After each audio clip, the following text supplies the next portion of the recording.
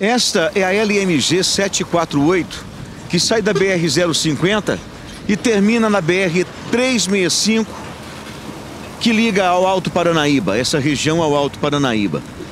Por esta rodovia passam carretas, caminhões, bitrens e tremiões que são usados para promover é, o transporte de grãos de áreas extremamente produtivas e conhecidas em todo o país, como Mato Grosso do Sul, Mato Grosso, Sudoeste Goiano, Centro-Oeste de Goiás, Baixo Vale do Rio Grande, Pontal, Noroeste Paulista.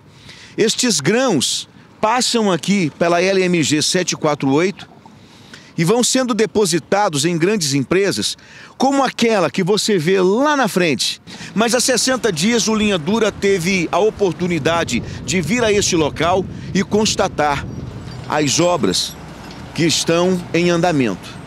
Você percebe pelas imagens aqui do programa Linha Dura Araguari que uma vala imensa foi aberta bem no centro de onde vai passar a pista duplicada. Desta forma, é, está sendo construída uma galeria para escoamento da água pluvial. Você percebe aí, ó, que é, é, é, toda a tubulação já está sendo colocada.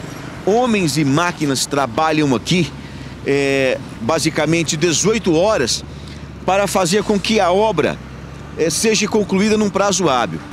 O programa Linha Dura foi instrumento para que empresários, políticos, pessoas que trafegam por esta rodovia cobrassem providências emergenciais do governo do estado no sentido de fazer com que a empresa vencedora da licitação cumprisse com a ordem de serviço. O que aconteceu? O programa Linha Dura mostra e acontece.